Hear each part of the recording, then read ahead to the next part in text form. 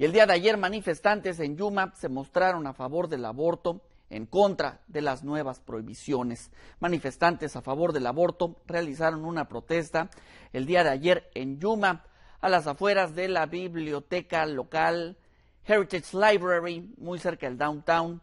Manifestantes se mostraron en contra del fiscal general de Arizona, Mark Bronovich, quien dijo que vendrían más prohibiciones para el aborto en el estado.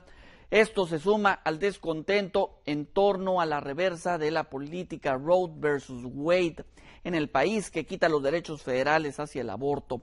La ley territorial de Arizona prohíbe el aborto al menos que la vida de la madre se encuentre en riesgo, mientras que a cualquiera que ayude a realizar un aborto podría enfrentar de dos a cinco años en prisión. Las protestas a favor del aborto y en contra del aborto aún continúan en la ciudad de Yuma. Le seguiremos informando.